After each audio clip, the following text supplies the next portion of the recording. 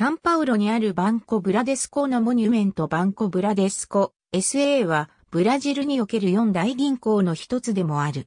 プライベートバンキング部門においては、ウニバンコとバンコイタウのプライベートバンキング部門が2009年に合併するまではブラジルで最大であった。本社をサンパウロ州のザスコに置き、3200以上の支店網を持つ。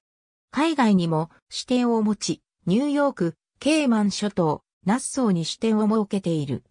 ブラデスコ銀行は銀行業のみならず、インターネットバンキング、保険、年金、クレジットカードサービス、個人向け、商業向けローンも手掛ける。